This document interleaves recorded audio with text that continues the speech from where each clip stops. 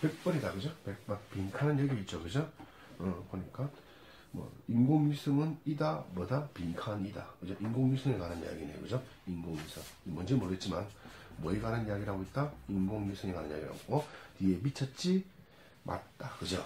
음, 그들은, 그, 이렇게 한 문장 더 보겠습니다. 그들은, 그들은 뭐죠? 인공위성이죠.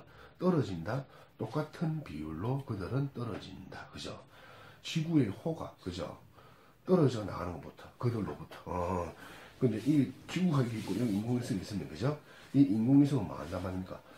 그들은 그죠? 똑같은 비율로 떨어지고 지구의 이 호는 그죠? 벗어난다 이거네, 그죠? 그래서 그 이거를 뭐 한다, 그죠?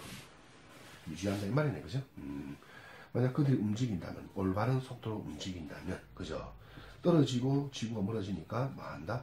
그 궤도를 유지한다 이 말이네, 그죠? 음. 너는 묻는다 우리에게 무엇이 인공위성이 그 하늘에서 떨어지지 않도록 하는 것이 뭐냐고 물었죠. 지난 세기 동안 그죠 이만한 인공위성들은 그죠 따랐다 첫 번째 것을 그죠 우주로 첫 번째 따라서 우주로 갔죠. 무엇이 그들이 떠 있게 하느냐? 그것은 미묘한 균형이다. 그죠? 인공위성의 속도와 지구 중력이 당기는 것 사이에 맞죠? 그죠?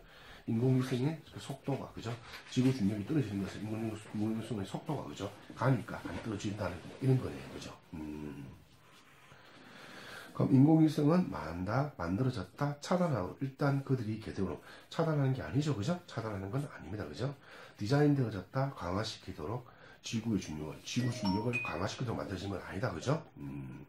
이론적으로 풀링, 다른, 이론적으로 다른 행성을 인공위성이 당깁니까? 아니죠. 그죠?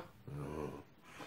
기본적으로 지속적으로 떨어진다. 그죠? 맞다. 그래 떨어진다. 떨어진다. 다음보다 답은 4분이죠. 그죠? 인공위성은 원래 뭐다? 떨어지게 되어 있는 거다. 그죠? 어. 왜 간단한 게 인공위성은 빈칸한다. 그들은 뭐 한다. 떨어진다. 떨어진다죠. 간단한 논리예요. 그죠? 그 다른 거는 그죠? 이 논리적으로 안 맞죠. 그죠? 그래서 답은 뭐가 돼요? 답은 4번이 되는 것입니다. 네, 감사합니다.